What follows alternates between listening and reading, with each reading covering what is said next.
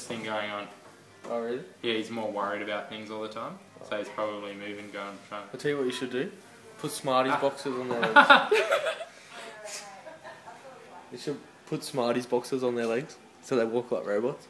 Is that what, remember the old sticky tape on the feet so that they.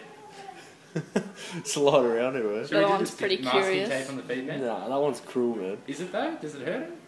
Oh, it wouldn't Probably. be good. For Masking tape's the easiest thing to fucking Yeah, get they off got- without it hurting our hair. I wouldn't do it. Look it. at this Okay. cat man compared to the other one. Just Yeah, but look at look at Marcus. So you reckon Marcus is the dominant one? Oh, he totally is. No way. Like What- both you, you might see the other ones being more aggressive to Marcus. Did you film that? Oh yes. That's going up on the Facebook. Naomi, come here. No, look at this.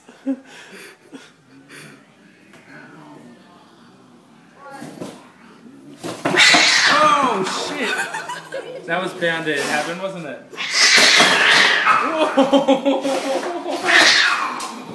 Oh, shit! See that? Did you get that? I don't know. What are you doing? Did you see this, the jump off the side of the fridge?